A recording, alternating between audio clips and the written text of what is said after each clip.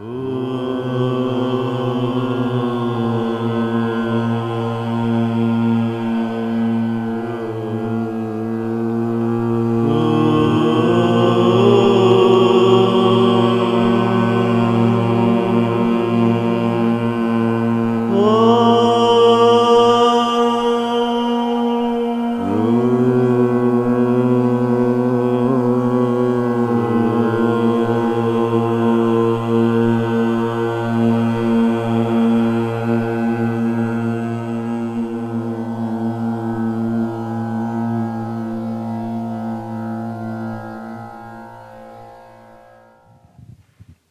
नमस्कार. ज्ञानेश्वरीची पुढची ओळी. का तीर्थे जिये त्रिभुवनी तिये घडती समुद्रावगाहनी ना तरी अमृत रसास्वादनी रस सकळ शब्दशः अर्थ घ्यायचा झाला तर जसं त्रिभुवनात असणारे असंख्य तीर्थ तीर्थक्षेत्राच्या ठिकाणी असणारी तीर्थाची कुंड म्हणजे पाण्याचे जलकुंड की ज्याला आपण ऑस्पिशियस वॉटर पवित्र पाणी वगैरे म्हणतो.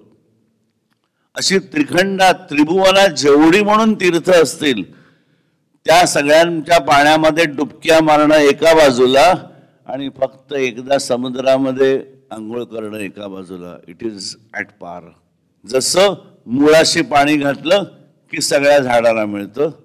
जसं एका समुद्रात आंघोळ केली की सगळ्या तीर्थक्षेत्रांचे स्नानाचं पुण्य मिळालं. तसं एका गुरुला जर धरलं तर तेहतीस कोटी देवांच्या पाठीमागे लागायची तुम्हाला गरज नाही. इतकं स्ट्रॉंगली एम्फसिस माऊली करते. त्याच्यामागे काहीतरी अर्थ असेल. गंमत अशी असते की आपल्यापाशी कोहिनूर हिरा असतो. तेव्हा त्याची आपल्याला खरी किंमत कळत नाही. आणि मग तो ब्रिटिश म्युझियममध्ये गेला की आम्ही हळहळतो. की अरे या हाडामासाच्या साजा दिसणाऱ्या माणसाच्या रूपामधनं निर्गुण निराकारातली संपूर्ण विश्व निर्माण करणारी एवढी महासत्ता माझ्या घरी येत होती.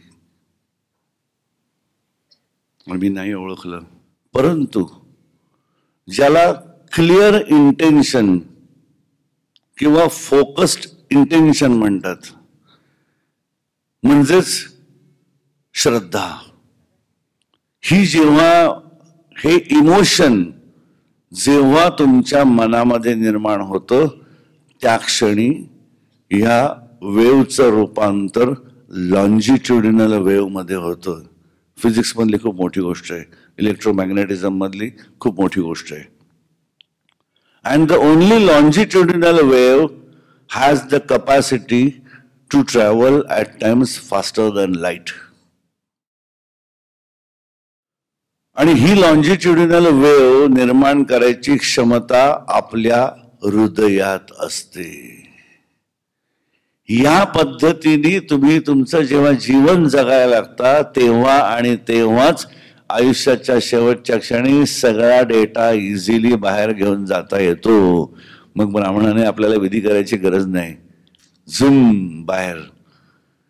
कारण ती जी वेव आहे ती डायरेक्ट प्रोग्रेसिव्ह वेव म्हणून बाहेर पडते. लॉन्जिट्युडिनल वेव म्हणून त्या एका बिंदूमधनं बाहेर पडते आणि झुमकन प्रकाशाच्या दिशेनं हे पहिल्यांदा तुम्ही सूर्यमंडळाला छेद देता आणि तिथून इन्फिनिटीकडे जाता. आता ज्या माणसांना डेटा घेऊन बाहेर पडता आला त्याला म्हणायचं ओके गुड व्हेरी गुड. आता पुढची बॉडी तुला पटकन घेता येणार आहे. कारण डेटा घेतलायस तू म्हणजे तुला तो डेटा वापरायचा आहे. बघा. तुम्ही काय कॅरी करता? जे तुम्हाला वाटतं की पुढच्या प्रवासात मला लागणार आहे. न जाणो आत्ता पाण्याची गरज नाही म्हणून म्हटलं आणि बाटली नाही घेतली आणि वाटेत तहान लागली तर? आपली बाटली असलेली बरी. म्हणजे थोडक्यात जो डेटा सगळा घेऊन बाहेर पडतो त्याची इच्छाच आहे की मला पुन्हा जन्माला यायचंय. पण जर जीवनभर ही कला आम्ही शिकलो की मी आत्ता एन्जॉय केलाय येस आय एम हॅपी आज झोपलो झोपेतच मेलो काही दुःख नाही. आज मी एन्जॉय केलेलं आहे. उद्या चुकून आपण जिवंत राहिलोच मिळालं तर परत पिन नाही मिळालं काही दुःख नाही. आज मला अमुक अमुक बक्षीस मिळालं कंपनीचा काहीतरी चांगला प्रोग्रेस झाला आणि मी काहीतरी केलं म्हणून मला ॲडिशनल प्रमोशन मिळालं. ते मी एन्जॉय केलं. नाही नाही पण अजून दोन आहेत ना वरच्या पोझिशन्स आता हे झाल्यानंतर मला ते पण मिळवायचं आहे इच्छा राहिली. डेटा घेऊन जायचा आपला आपला माल घेऊन जायचा. पण आज मला मिळालाय I am happy with that जर जगलो वाचलो उद्या राहिलो तर I sky is the limit for me but otherwise I am through I am happy I am fully satisfied या पद्धतीने जो जीवन जगतो तो जाताना कुठलाही डेटा घेतच नाही. प्युअर चार्ज म्हणून बाहेर पडतो त्याला म्हणतात मोक्ष मिळाला. आपण आपल्या परीने श्रद्धा पक्की करायचा प्रयत्न करूया. आपण ज्यांना मानतो त्यांच्याविषयी. God bless you